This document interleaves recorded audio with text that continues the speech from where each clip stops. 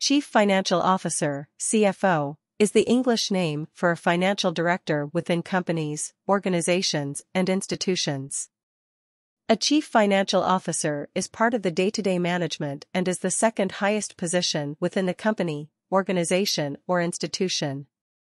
In most cases, a chief financial officer is actually a very experienced accountant, bookkeeper, or controller, but this does not have to be the case.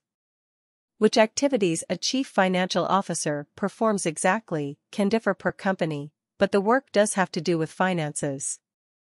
Think of risk management, recording financial data, and making plans with regard to finances.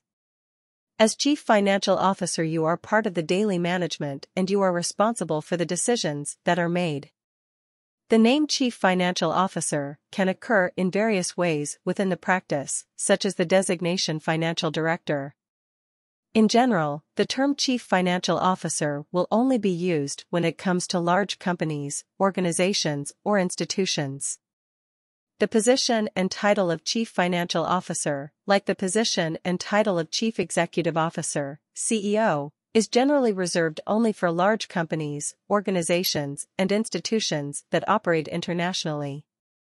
When it comes to smaller companies, organizations, and institutions, one speaks more of a financial director or a financial manager. The duties of a chief financial officer are diverse and are perhaps best described as trust duties, referee duties, and as supporting management tasks, with an emphasis on finances. After the chief executive officer, a chief financial officer is the highest director within the company, organization, or institution and therefore has major responsibilities.